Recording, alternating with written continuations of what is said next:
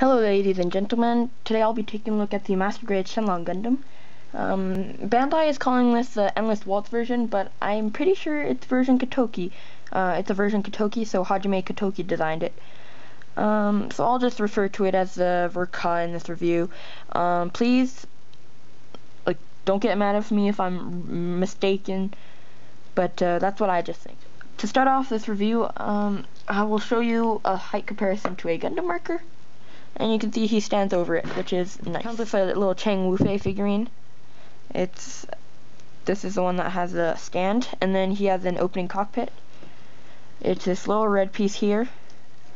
If you pull it down, there's a little Chang Wufei piloting. It's actually a really nice simple cockpit, and I quite enjoy it compared to um, other master grades like the Wing Zero Custom and uh, the Quanta. Oh.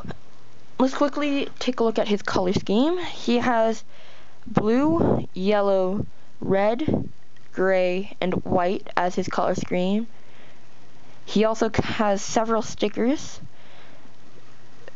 One for the eyes, and three for the cameras. Two in the front, and one in the back. He has two stickers on his Dragon Fang, which I will show once I get to his accessories. For articulation, this guy is actually really nice.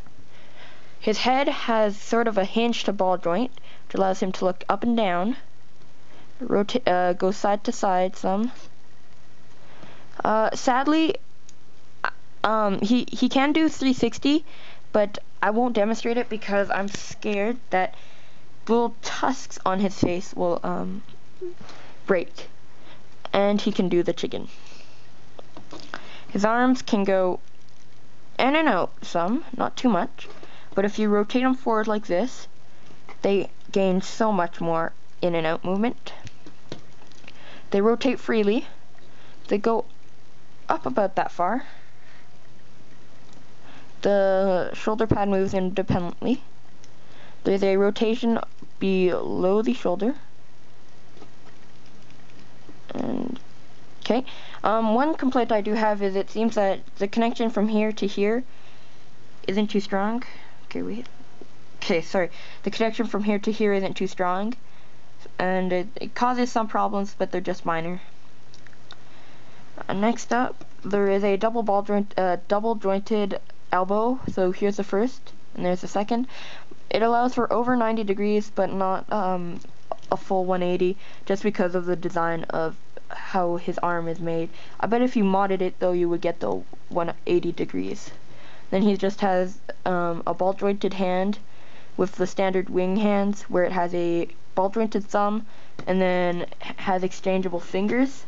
So I will just quickly show you. He has, uh, here we go, two closed hands, a right and the left, a open grasping hand to grasp your weapons with no peg, then he has two peg holding weapons. One is here, the other one is on him, if I'm not mistaken.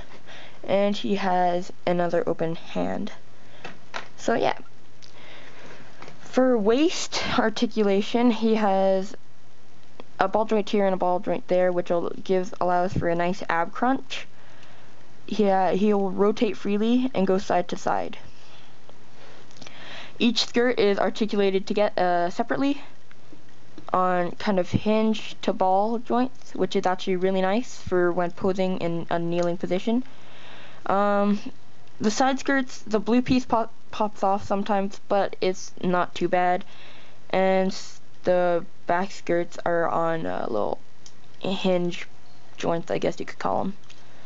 For leg articulation, his leg will go that far Back.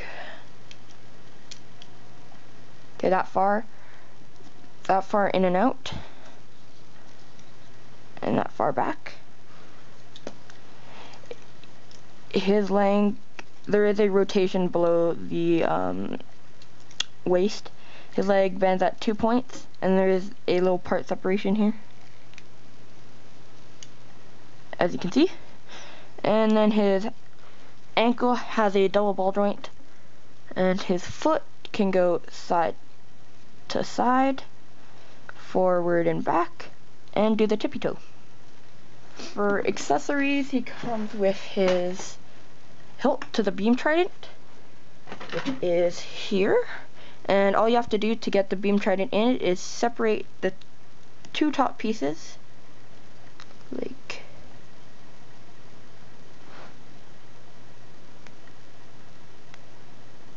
so.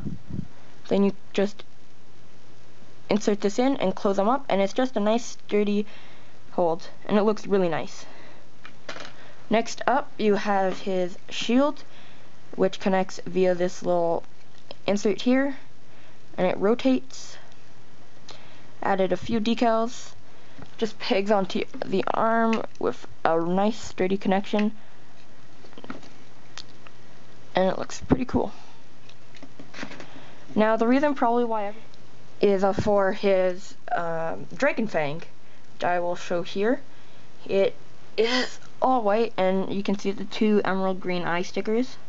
It connects via this little piece here, which can be rotated like so, so that it can be held on his arm in the back.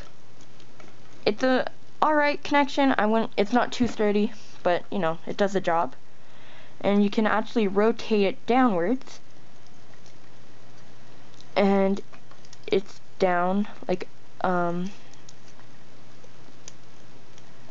like it it it um is acting as his dragon fang and then you just rotate these pieces out like so. His mouth open. Make sure this is connected in there so it doesn't fall out. And then last but not least it pulls out and there's a pretty menacing Dragon Fang that I think just looks awesome. And is a much improved Dragon Fang as what I've seen on the 1 to 100 non-grade. It always falls over. This one has no problem holding it up.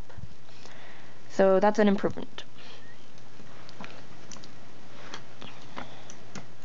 So what are my final thoughts on this kit? I really enjoyed this kit. It was a nice, fun build.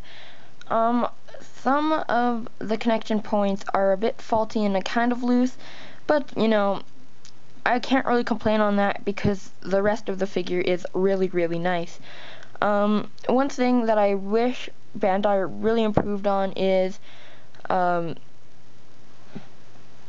uh, what, the connector points. Like, I, I, I understand, but I wish they had a kind of a polycap joint in there somehow because one flick and it's falling off. Um, except for that, they really Bandai did a really good job hiding the nubs, and I I just think Bandai did a great job overall with this kit. Um, and it's a great improvement to his show form. So yeah, for Bandai's asking price of Zach of 308 3,800 yen. Um, I say go out and buy this. I, I would recommend this as uh, one of the best master grades that I have. This is the best master grade I have. Um, so yeah, go out and get it. It's pretty cheap and it's a great deal for its price. So yeah, that's about it. See you guys.